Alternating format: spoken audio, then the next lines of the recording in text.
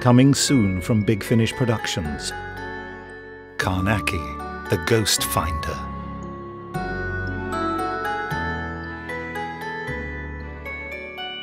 I should think I had watched for about an hour and a half when, suddenly, I heard a faint noise away up the corridor.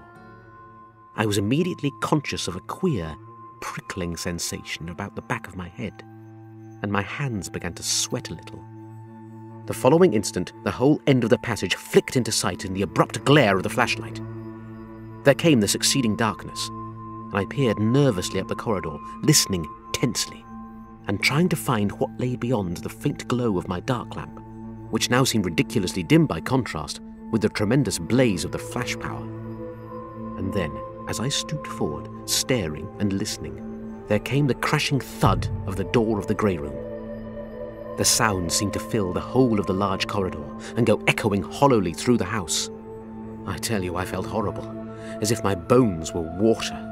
Simply beastly. Jove, how I did stare and how I listened. And then it came again. Thud. Thud. Thud. And then a silence that was almost worse than the noise of the door. For I kept fancying that some awful thing was stealing upon me along the corridor. And then suddenly, my lamp was put out, and I could not see a yard before me.